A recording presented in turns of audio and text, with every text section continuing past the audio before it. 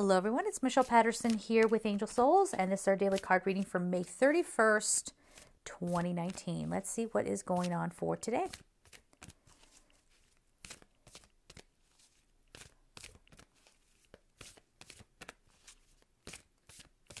Okay, today's card is the judgment. Ooh, okay.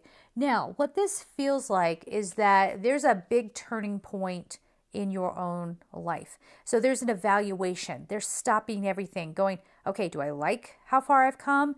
You know, you might want to work with Archangel Jeremiah today. He can help you with a life review.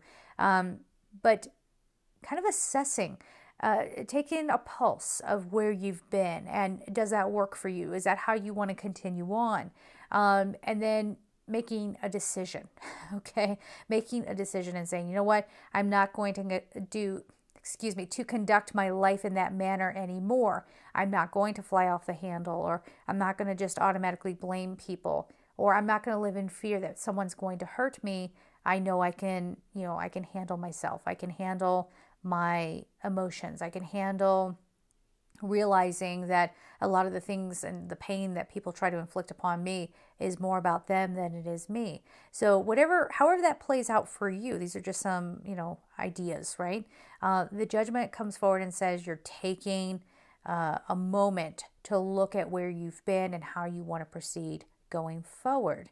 Now, for some of you, this could actually literally mean that you're being judged. But the feeling I have around this is that you're kind of putting your foot down about it and saying, up, don't put words in my mouth. Up, don't just assume you know me. Up, don't don't tell me how you know I'm going to react to this. Because a lot of times um, we are working on someone else's programming. You know what I mean? And so if you're expected to be the funny one in the family, even when you're hurting, um, you know, you might stop and go, no, I don't feel like being funny today, right?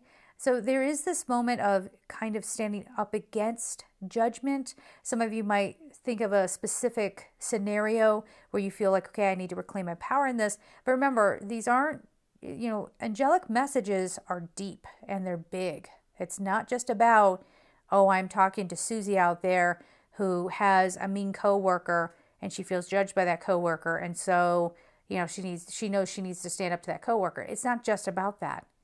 It's it's more about why have you gotten to this place? Why are you always seeming to be in this moment where you're having to stand up for yourself, right? Where is the respect? You know, it, it has a deeper implication, is what we're getting at here. Okay, so we're going to leave it there. I'm sending you so much love and take care.